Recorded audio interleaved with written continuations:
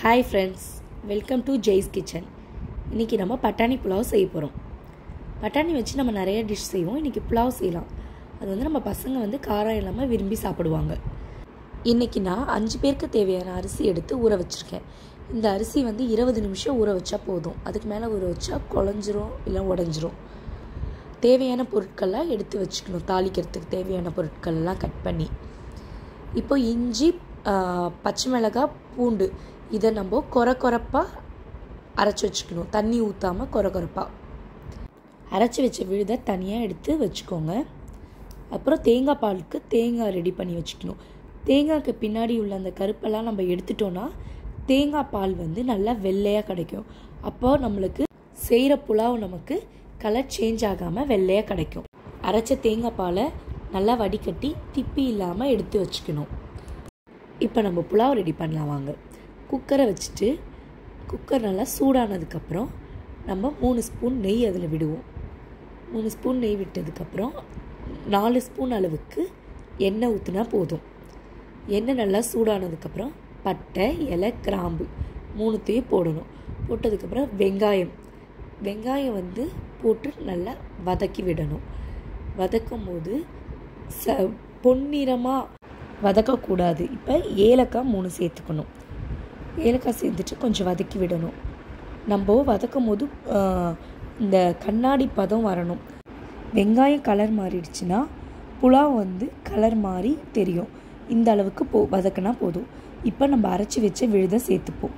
சேர்த்து பச்சை வாசனை போகிற அளவுக்கு லைட்டாக வதக்கி விடணும். வதக்கி விட்டதுக்கப்புறமா இப்போ நம்ம எடுத்து வச்ச பட்டாணி மூணு பச்சை மிளகாய் எல்லாம் சேர்த்துப்போம்.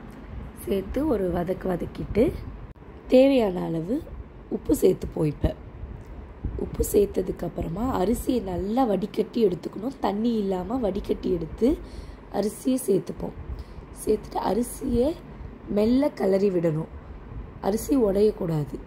இப்போ நம்ம எடுத்து வச்ச தேங்காய் பால் எடுத்து ஊற்றுறோம் ஒரு கப் அரிசிக்கு ஒன்றரை கப் தேங்காய் பால் ஊற்றணும் நான் ரெண்டு கப் அரிசி எடுத்திருக்கேன் மூணு கப் தேங்காய் பால் ஊற்றிருக்கோம் இப்போ புதினா இலை மல்லி இலை மேலே தூவி விட்டுட்டு இப்போது உப்பு கரெக்டாக இருக்கான்னு செக் பண்ணிக்கோங்க. எனக்கு உப்பு பத்தலை நான் கொஞ்சம் உப்பு போட்டுக்கிட்டேன். இப்போ எங்கள் குட்டி பாப்பா உப்பு இருக்கான்னு செக் பண்ணுறாங்க எங்கள் பாப்பாவுக்கும் ரொம்ப பிடிச்சிருக்கு. இப்போ நம்ம குக்கரை மூடி வச்சுக்கலாம். ஒரு விசில் வந்தால் போதும் ஆஃப் பண்ணிடுங்க. இல்லைனா சாப்பாடு குழஞ்சிரும். நம்ம ஆஃப் பண்ணி ஃபைவ் மினிட்ஸ் கழித்து குக்கரை திறந்து பாருங்கள் இப்போ நம்ம புலாவ் வந்து ரெடி ஆயிடுச்சு. புலாவ் வந்து ஒன்றோட ஒன்று ஒட்டாமல் அழகாக வந்திருக்கு இப்போ. ரொம்ப கிளறி விடக்கூடாது. ரொம்ப நேரம் குக்கர்லேயே அப்படியே மூடி போட்டு வைக்கக்கூடாது. சாப்பாடு குழஞ்சிரும். இப்போ நம்ம புலாவை வேறு பாத்திரத்துக்கு நம்ம மாற்றிப்போம் உங்களுக்கு பிடிச்ச சைட் டிஷ்ஷோடு வச்சு புலாவை சர்வ் பண்ணுங்கள் இந்த புலாவ் வந்து பெரியவங்கள்லேருந்து சின்ன பசங்க வைக்கும் ரொம்ப விரும்பி சாப்பிடுவாங்க.